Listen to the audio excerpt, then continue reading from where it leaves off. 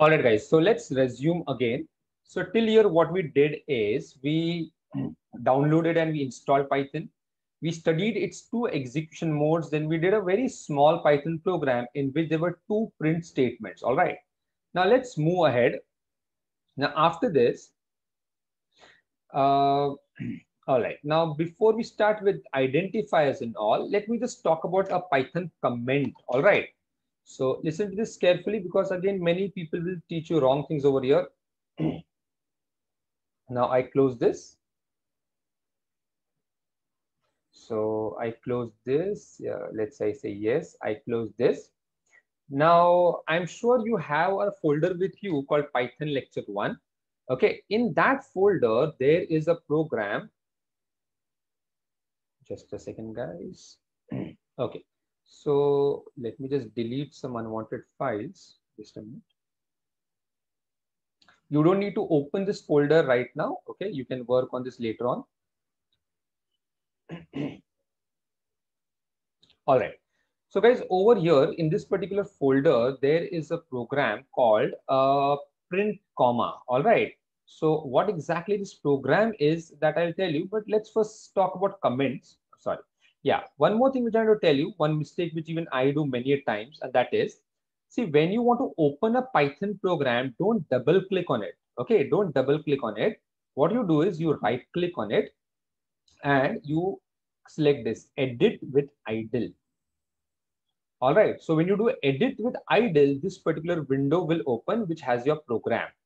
Now the name of this program, the name of this program is print comma.py so we'll talk about this program uh, in some time. Right now, let's talk about a comment. So listen to me carefully, guys. Now, what is a comment?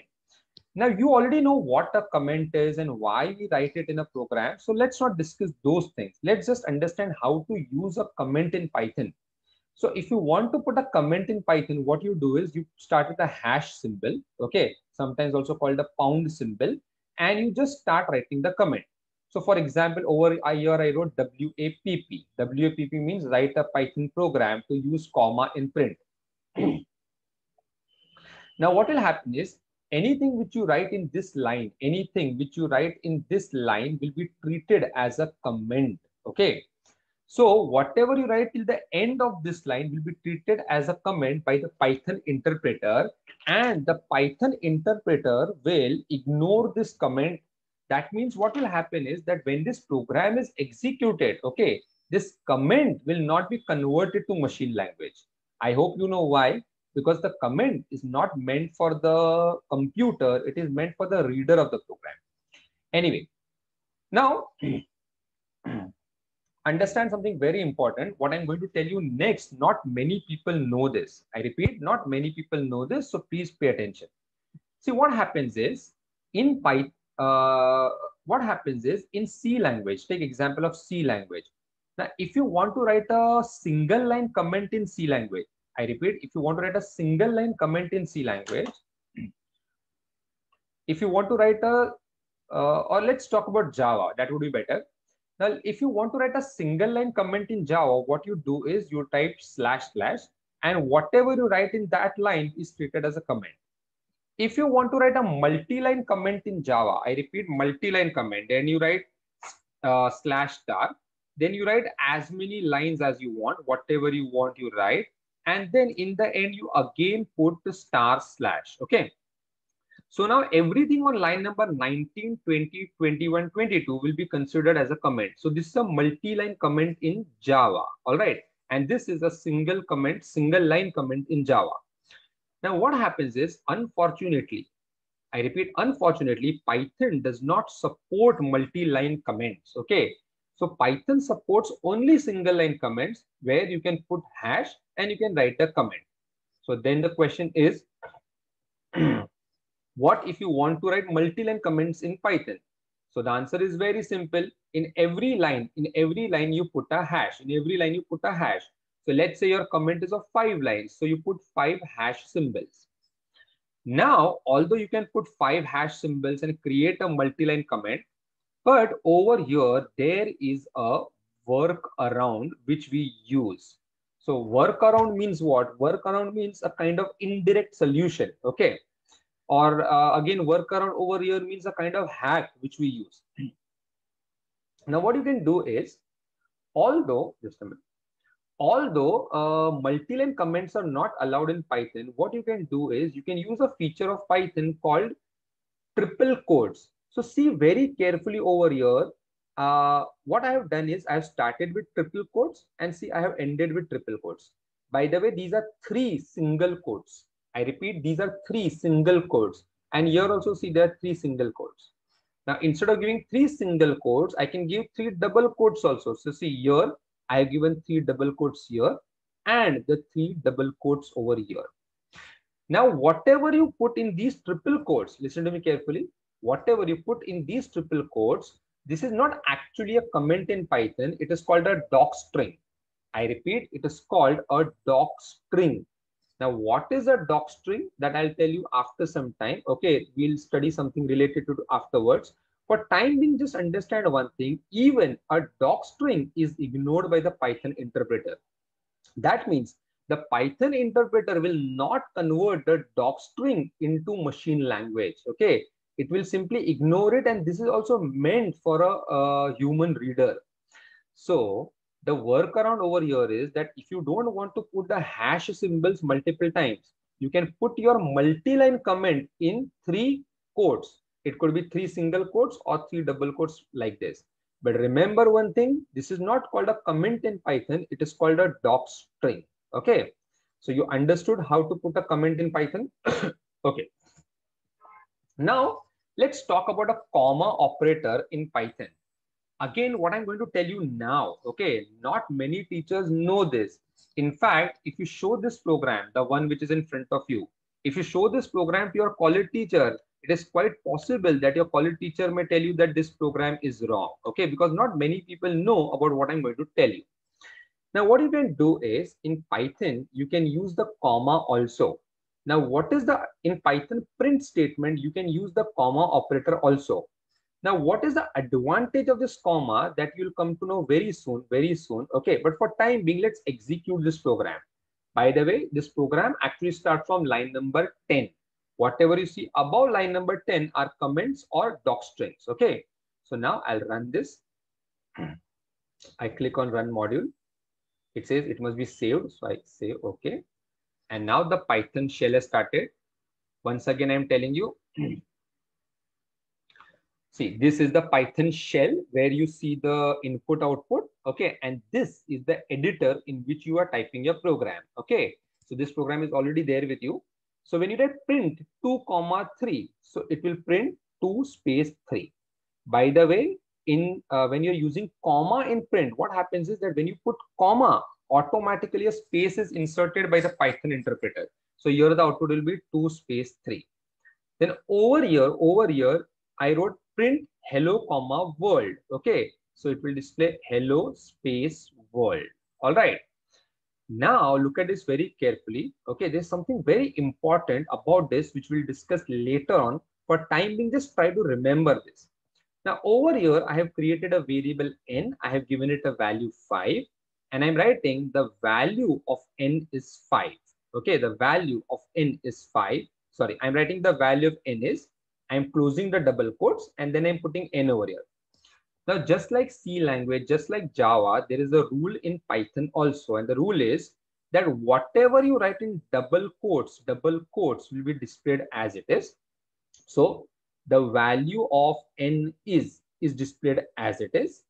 And and uh, whatever you write without double quotes okay its value will be displayed. So this this n look at this n. It is without double quotes. It is not in double quotes. And that's why its value 5 is displayed and you get the output the value of n is 5 once again see i have not given any space over there see carefully but still you will see a space after this is because the comma operator automatically puts a space. okay. So guys, you understood how the comma is used in print. Now what happens is 99.99% of the teachers don't use a comma operator in print. They use the plus operator in print. In fact, if Python is, has already started in your school or college, even you must have used the plus operator in print. But using the comma operator has an advantage and about it, I'll tell you very soon. So for time being, just remember that in this program, you studied a single line comment, you studied multi-line comments, also called docstring. Okay, actually they are not comments, they are called docstrings. And you studied the comma operator in print. You studied the comma operator in print. Okay, let me also just change this. If I want, I can type hello, comma, then double quotes, Python, again, comma, and world Now I'll save this. Whenever you change the program, always save the program. If I don't save, see what will happen. It will always tell you source must be saved. Source means this program. If you click on OK over here, it will be saved and then executed. So click OK and see now it says hello Python world. So why I did changes over here because I want to show you that you can put as many commas as you want. Whenever you put a comma, a one space will be given over here. Okay, let me revert the program back. All right, I save this. For saving, I can press Control S on the keyboard. Okay. So guys, we have not discussed the advantage of the comma operator. That advantage you will understand only after studying the plus operator, which we'll do very soon. okay. Now, uh, once that is over, once that is over, now what next? So now let me close this program. Let me also close the shell. All right. Now, uh, Okay. Now let's talk about some basic concepts of Python, starting with identifiers. Identifiers. So the first thing, the first thing which you need to understand is, just a minute. The first thing which you need to understand is that what is an identifier? So guys, uh, if you have done any programming language before this, then you will be knowing one thing that whenever you write any program, in that program, you use many variables you use functions, you use classes, you use objects. Basically, you use many elements in that particular program. Now, whenever you are using a variable or a function, you will assign it some name. And whenever you, by the way, here onwards, whenever I say you, that you would mean the programmer. I repeat, when I say you, I would mean the programmer. So whenever you give a name to someone in your program, that name is called identifier. Okay. So an identifier is basically a name which you assign to any element in your program. So in Python also, you will be using identifiers for identifying variables, functions, and so on. Now, what happens is when you're using an identifier, you're free to choose your own name. So for example, if you have a variable, you can call it A, you can call it B, you can call it using your own name or and so on.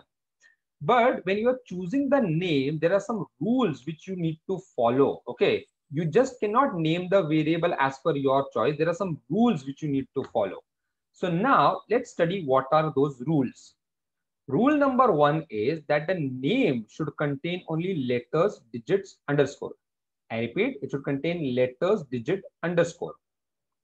Rule number two is, uh, sorry, this is basically rule number one. So your uh, identifier can have alphabet A to Z in uppercase, in lowercase. It can have digits 0 to 9. I hope you know that 0, 1, 2, 3, 4, 5, 6, 7, 8, 9 are called digits. And it can have underscore. Now, don't do one mistake over here. This is underscore. This is not the hyphen symbol. Okay. So basically, in the identifier name, you can have these symbols, not anything else.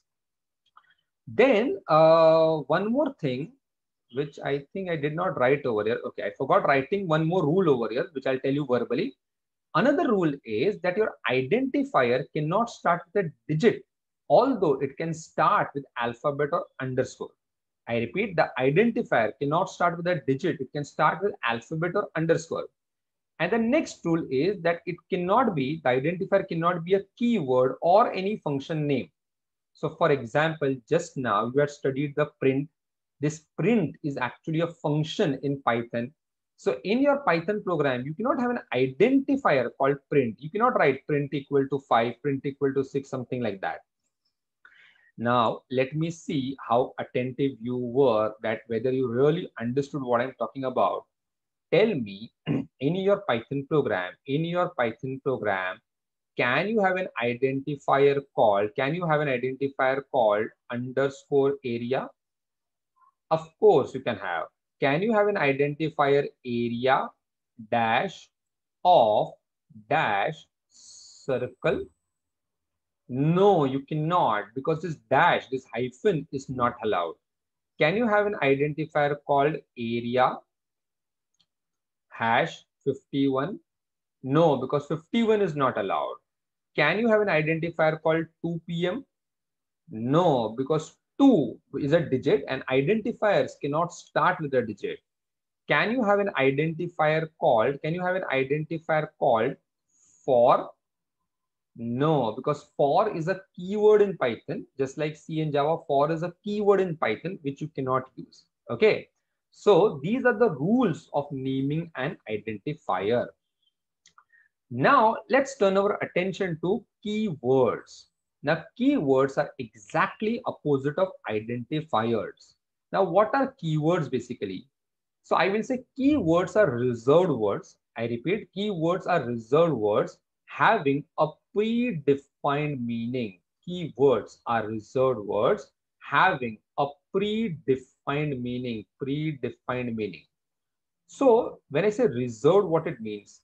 It means that keywords are used for a specific purpose. They cannot be used for anything else. And predefined means what? Predefined means the Python interpreter already knows the meaning of the keyword. So let's take example of one such keyword, one such keyword called, called if, called if. Now you must have seen this keyword in C, in Java. Now what happens is in Python or in C or in Java, in any programming language, in almost any programming language, whenever you want to check any condition, I repeat, whenever you want to check any condition, you write if and after the if you write that condition. All right. Now this condition could be true or false. That is a separate thing. But basically, whenever you want to do condition checking, you will write the keyword if and then the condition. So what happens is the Python interpreter already knows the meaning of the word if. The Python interpreter knows that this word is used for condition checking. So it is predefined and it is reserved.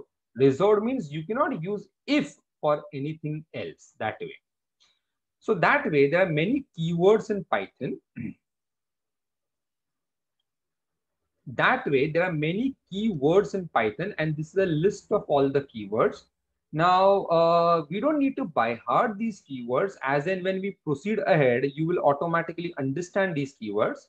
Now, over here, I want you to be attentive to this true, okay, to this false, and to this none. Now, do you see anything different over here? See, what happens is, what happens is that most of the keywords are given in lowercase. In fact, in C and Java, all the keywords are given in lowercase. But in Python, there are some keywords which start with uppercase and they are true, false, and none. So guys, what will happen is that when you do Python programs, many a times you will write true, you will write false. But when you write true, false, this F, this T must be in uppercase, not lowercase. Okay, so pay attention to that thing. All right, so pay attention to that thing. okay. Now, uh, moving further. All right. Now, uh, the next thing which we need to understand over here is the standard data types. All right, just a minute, guys.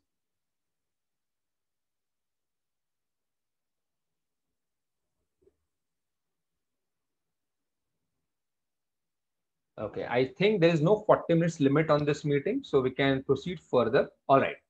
Now, the next important concept which we need to understand over here is the standard data types. Now, pay good attention over here because you may be surprised to know one thing over here.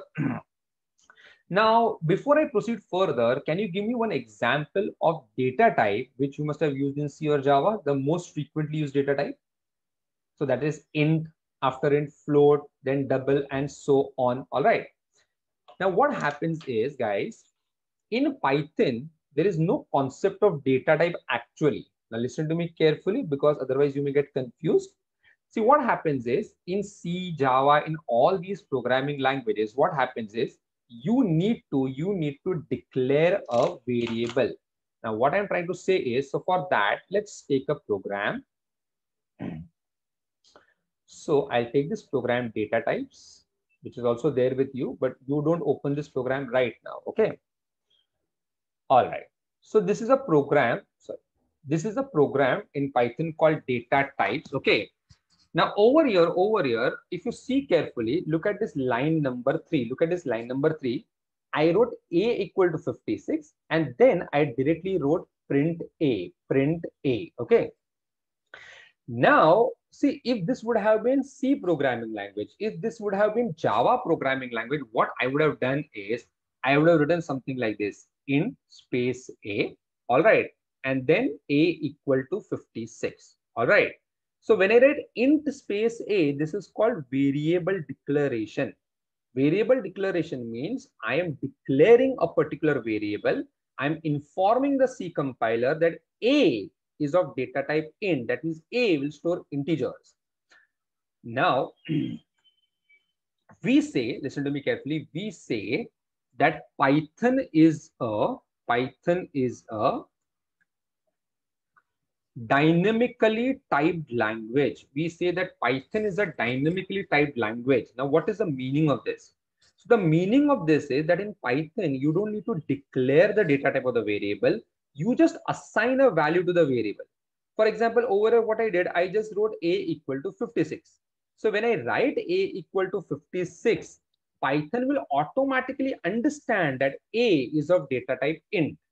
Okay python will automatically understand that a is of data type int because uh, 56 is an integer. Similarly if i wrote b equal to 58.97 it will automatically understand python will automatically understand that b is of data type float because 58.97 is a floating point number. All right so that is the meaning of dynamically typed language now why i was saying that a concept of data type could be confusing over here because listen to me carefully because in a Python program, you don't need to declare the data type. You don't need to write int a float b, but still internally, I repeat, internally, Python will classify the variables into different data types. I repeat, internally, Python will classify the variables into different data types. So now let's study the internal classification of data types. That means internally what all data types are available to Python. Okay. So, so in Python, the data types are broadly divided into these categories. The first is a number. Okay. That means you can have the data type number or sequence or boolean or dictionary or set now, what you see in front of you on the screen, what you see in front of you on the screen, these are categories of data types. I repeat, these are categories. So basically, if you want to work with numbers, numbers, then there are three data types available in Python. And these three data types are integer, float, and even complex. Now, you know what is an integer, you know what is float, and you will also study complex in Python. That means in Python, you can even create a complex number. Hmm. Then in Python, in Python, you can have you can have a sequence category. Now under sequence, under sequence comes string, then list and tuple. Now, what is list? What is tuple? That we'll see later on. For time being, a string is a collection of characters. So today what we'll do, we'll study about integer, float, complex and string. And in the subsequent lectures, we'll study about list, tuple, boolean, dictionary and set. So basically these are, these are the data types which are available in Python. This number, sequence, boolean, dictionary set, they are called categories and under these categories, integer, float, complex, they are the data types. Okay. Anyway, now once you understand, once you understand the data types in Python, now let's do one program to understand it better. We'll do the same program. okay. Now what I want you to do is I want you to go through this program while I'm waiting for you for a few seconds. Okay. So I will wait here for a few seconds and I want you to read the code of this program. So come on, do that.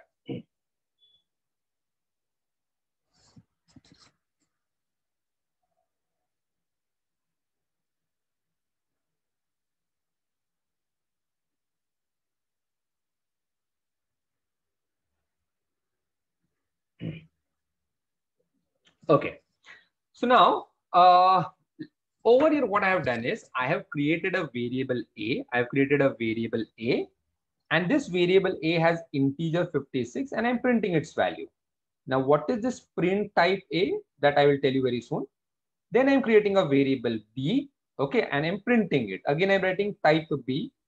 Then I'm creating a variable C. Now see carefully, this variable C is a complex number where 5.8 is the real part, 9.7 is the imaginary part. I'm printing its value and again I'm writing type C. Now I uh, request you to not look anything beyond line number 14. Okay. So now I run this program. Okay. And as I tell you, whenever you run the program, you will see a different shell. You will see a new shell and you will see the output in that new shell. All right. Uh, I hope you have used that hack of reducing the width and height. If you have not done that hack of reducing the width and height, what will happen is these two screens, this one and this one, I mean, these two windows, they will be phenomenally big. So you will have to resize them every time. Okay, that was the reason of telling you to reduce the width and height. Anyway, now uh, uh, uh, one suggestion which you should take very seriously. See, while I'm teaching you one thing, you should only pay attention to that thing. You should not look elsewhere. So for example, if I'm talking about this output, don't look over here. All right. When I'm talking about this output, this output, don't look over here. Okay. Just pay attention to what I'm teaching. All right. Now let's start. So line number four, line number four has produced this output 56, has produced this output 56. All right. Then line number eight, line number eight has produced this output 58.97 and line number uh, 12, 12 has produced this output 5.8 plus 9.7J. Now over here, you may ask me how, from where these, uh, you know, uh, round brackets have come. By the way, here onwards, we'll not call them round brackets. Okay. Uh, that's a very, you know, gaunty way of uh, calling them. We'll call it parenthesis, parenthesis. Okay. So uh, whenever somebody says parenthesis, it means round brackets. So I'll tell you a few more things. Whenever somebody says braces, it means curly brackets. And whenever somebody says brackets, it means square brackets. Okay, so remember this. anyway, so what I was saying is, uh, if you see this, if you see this, this thing, all right, you see the parenthesis over here, which is the default format of displaying the complex number. Now, uh, over here, I'll show you one thing. I'll do one change in line number seven. Instead of writing 9.7J, I'll write 9.7I. Because normally what happens is we use the alphabet I to denote the imaginary part of the complex number. So I put I over here and I save this and I run this. Okay. So over here, you see a syntax error. See carefully, you see the syntax error. So what is the error over here? The error over here is that as per the rules of Python, the imaginary part of the complex number should be given using the alphabet J, not I. So you may do this mistake in your programs also. So I rectify this mistake. Okay, I make it J again. I save this on the keyboard. I'm pressing Control S and run module. And once again, I get the same output. I get the same output. Okay. Now, once again, I get this output. Now let's talk about this type. So listen to me carefully. Now this type is a predefined function in Python. Now I'm sure you know what a function is. If you don't know, if you've forgotten what a function is, just remember, just understand it this way. A function is a kind of built-in code. A function is a kind of built-in code which you can use for your purpose. So basically type is a function and this function type will take one parameter and that parameter is a over here. Now you may ask me, what is the meaning of parameter? So a parameter is that value on which the function works. So currently the function type is working on A and that is why, and that is why we say that A is the parameter of type. Now what function type will do, it will give you the data type of the variable.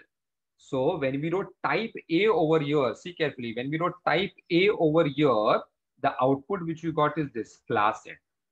So basically class over here means data type. So we got int. The output of line number nine, class float. the output of line number 13 class complex. All right. So basically the type function is used to determine, is used to find out the type of the variable. Okay. Now let's turn our attention to strings. Now again, listen to me carefully. Now people who have done C and Java, including myself, okay, we find Python a little unusual because in Python there are many things with, uh, or I will say in Python, uh, I'll say this way, in C and Java, there are many things which are not there in Python. For example, in Python, you don't need to write main and all those things. And, uh, and in Python, you don't need to declare the data types and so on. So that way, uh, in Python, there is something different about strings. So listen to me carefully. See, what happens is in C and Java, in C and Java, there is something called char and there is something called string. Char means a single character and string means a collection of one or more characters. Okay. So if you want to create a character, you put that character in single quotes. But if you want to create a string, you put it in double quotes. I was talking about C and Java. In Python, there is no concept of character. In Python, even a character is called a string. So how do you define a string in Python? In Python, a string can contain zero characters or one character or more than one characters. Okay, zero, one, more than one, everything is called a string in Python. Now, if you want to create a string in Python, you should put that string, listen to me carefully, you should put that string either in single quotes or double quotes. So, I have created a string called str1. Normally, we name strings as str so I've created a string called str1 and this string is Python. See, it is in single quotes. And now onwards, please keep one thing in mind that single quote does not mean character. It means string. Now over here, see carefully, I wrote print type str. So it is telling class str. See? All right. So basically it tells me that the data type of str1 is string. This str over here means a string, string. Okay. Then I wrote print str1, so it gave me Python. Okay. Now I, I'm creating another string called string2, string2, str2. But see, this time it is in double quotes, double quotes. Now let's do one thing over here. See what I'm doing carefully. Let's start this Python in single quotes, but let's end it in double quotes. Okay. Now I'm going to run this program. Any idea what is going to happen now? Okay, so let me run this program function F5. It says save. I say okay. Now look at this carefully. It says end of EOL means end of line. EOL end of line while sc uh, scanning string literal. So basically it gives an error, syntax error. Now what do you think over here the error is?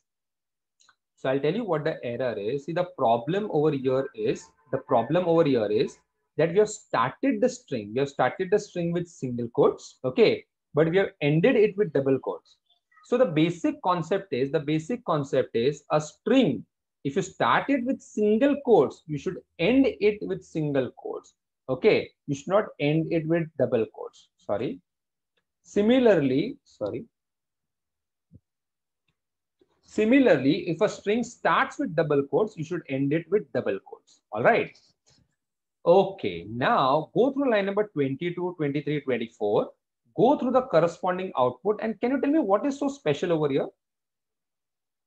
So what is special over here is, see, I am creating a string called str3, but I'm using triple quotes over here, triple quotes. now, have you seen triple quotes? Yes.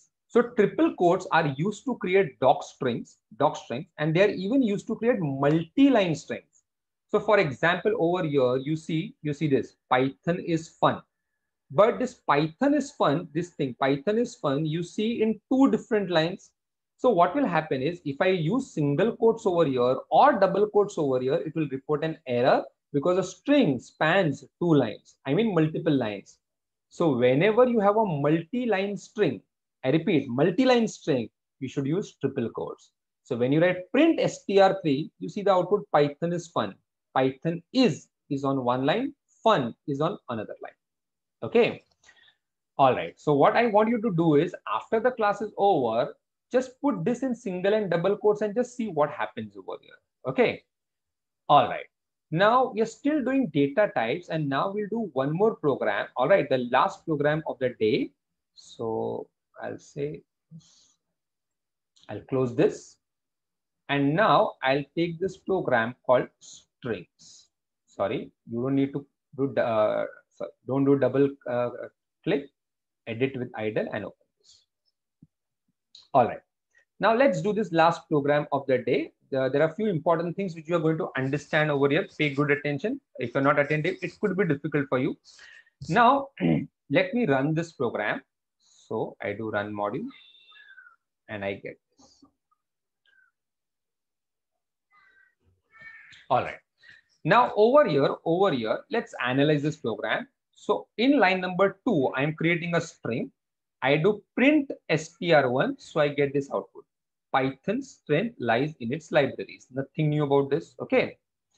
Now I want you to go through line number four, line number four, and I want you to also go through its output, which is this. Come on.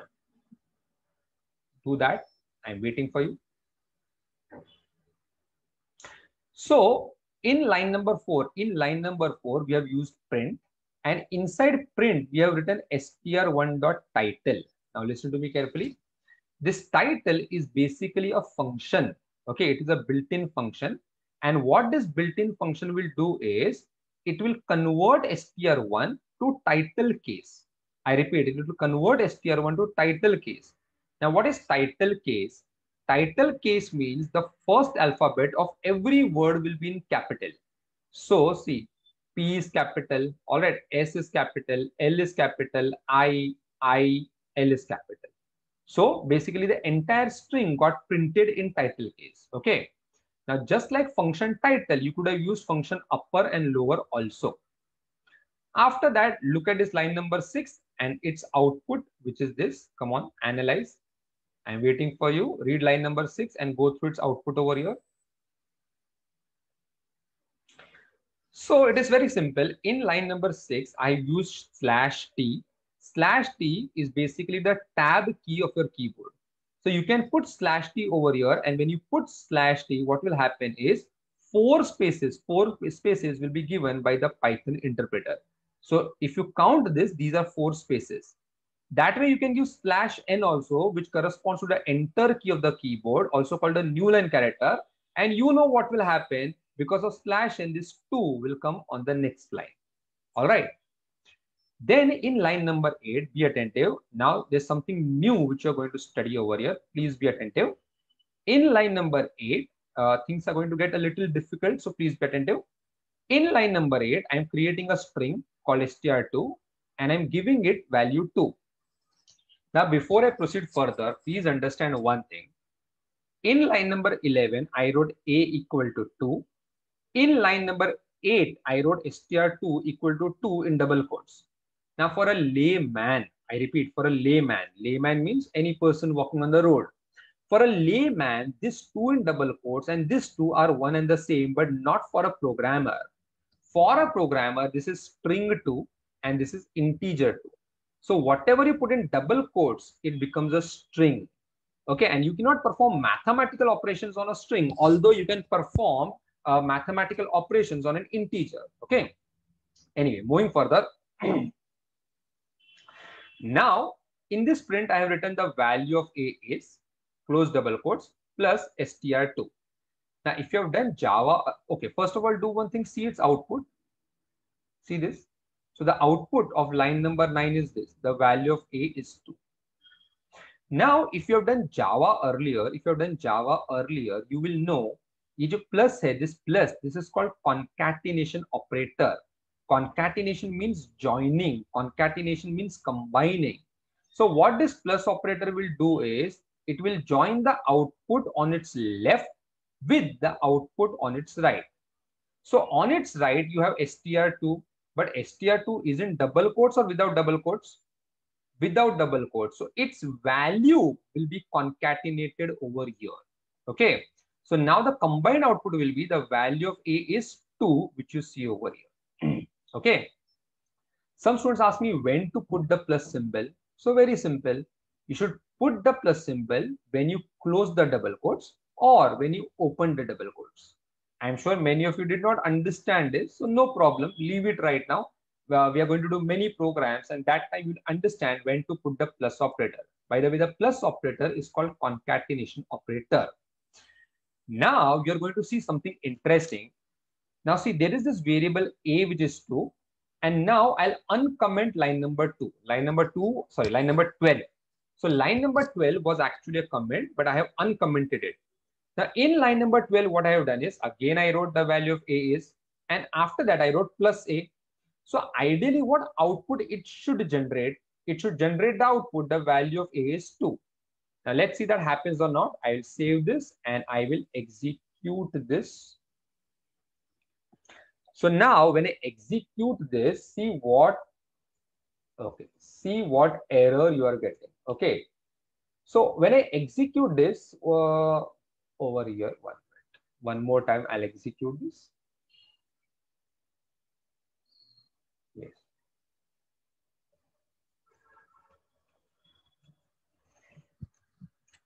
All right. Now see this error. It says there is an error in line number two. Okay. Uh, sorry, line number 12. It says there is an error in line number 12. Okay, this. And it's this is a statement which is producing error. And now look at this error. This error is called type error. Now what it says, it says can only concatenate str, not int to str. Now before I explain you the error, I give you a few seconds and you try to figure out what this error is actually trying to tell you. Come on, do that. so guys, what is happening over here is, be attentive. This plus is a concatenation operator and the concatenation operator requires strings on both the sides, the left side as well as the right side. Okay. You need strings on both the sides of the plus operator. Now what is happening over here is this is a string. This is a string. Okay. But A is not a string. A is not a string. Okay. A is an integer. So this concatenation operator reports an error why? Because it wants strings on both the sides and A is not a string. So it cannot concatenate a string to an integer and that's why it reports an error. Now, what is the solution to this? So I'll give you two solutions. One solution which everybody knows and one solution which very few people know. So first, I'll give you the solution which everybody knows. Sorry. Now the solution is in line number 13. Now what you do is instead of writing A, you write str of A. Now by now you must have figured out what is str. So str is a built-in function.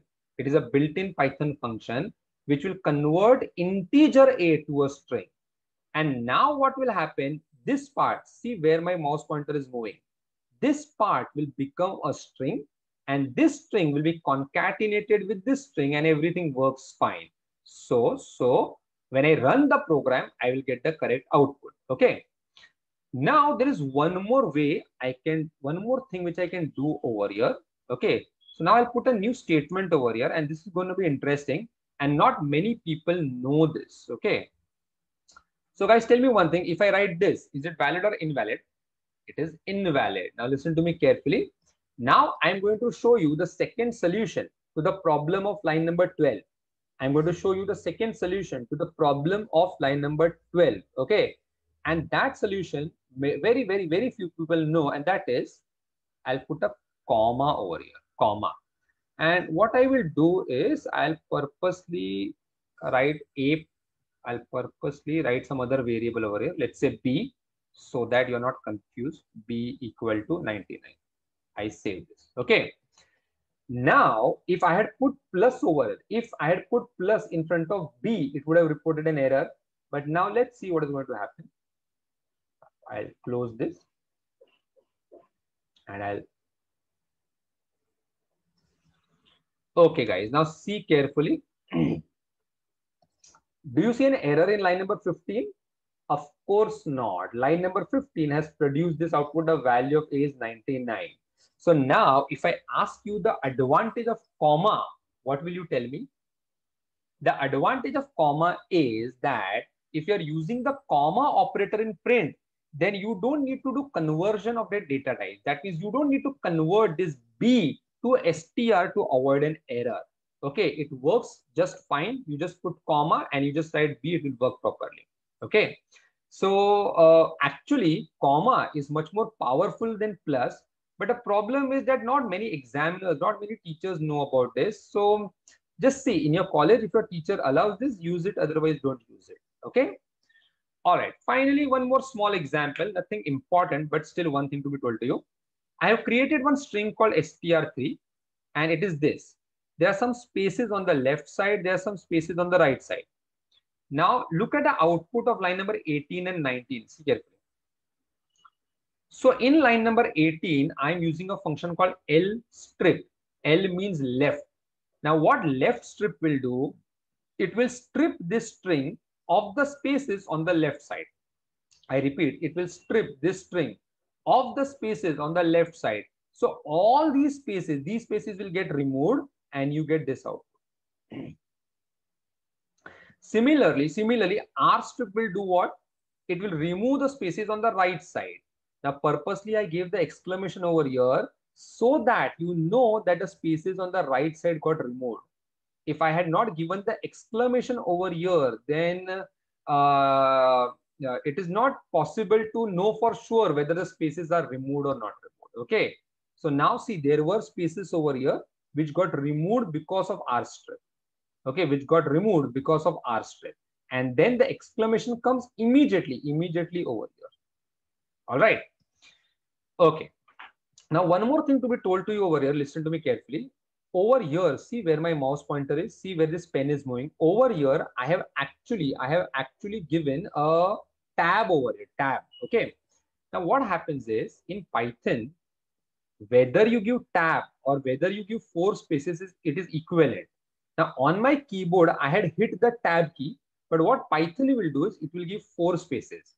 Now, some of you will wonder in your mind, why am I talking about this? So I'll tell you one thing. My intention is not to confuse you, but my intention is to um, solidify your foundations, okay, your basics. So what happens is in languages like C and Java, a tab and space is treated differently, but not in the Python IDLE editor. In the IDLE editor, if you hit the tab key, it will convert it to four blank spaces. Okay. So the L strip and R strip will work even for tab. Now, finally, one last thing which I want to tell you over here, and after the lecture is over, I want you to make a note of it in your own words. Listen to me carefully. Now, see this title, this L strip, this R strip, they are functions. This str is also a function. But do you notice some difference in their syntax? Come on, I'm waiting for you. Of course you do. See the syntax over here is that I wrote something dot title, something dot L strip, something dot R strip. But over here, I did not write something dot. I wrote the function name and then within the parenthesis, I gave this parameter. Okay. Now what happens is this title, this title, this is called a method. Now what exactly a method is that you'll understand later on when you do classes and object. Okay. Right now, just understand one thing. This is also a function and this is also a function. But this is a normal function. Str is a normal function whereas title l strip r strip they are called methods. So whenever you see syntax like this this okay then these type these things are called methods. So remember one thing methods are also functions but they are special functions. What is so special about them that we'll see later on so guys we'll stop this lecture over here today. Okay. Now, in the next lecture, what we'll do is we'll study the Python operators. We'll study uh, how to do data input in Python. And we'll study a very important concept of Python called block. Very, very, very important. So I'll stop here today. I hope you understood all this. If you have doubts, you can call me without any without any hesitation. Okay. So that's it. Bye bye.